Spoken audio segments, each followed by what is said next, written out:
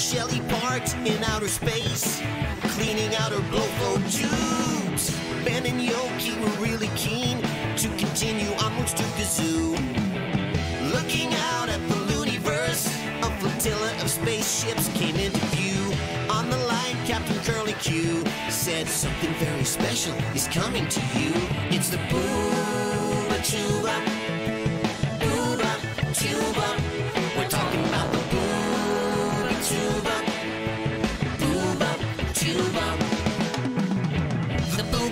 sounds really swell. The giant Bubatuba has a really bad smell. Through an open hatch that Scramble had forgotten about came a smell that knocked everyone but Scramble out. Only one thing for him to do was to clean out the Booba Tuba's blow flow tubes. His friends woke up, now they're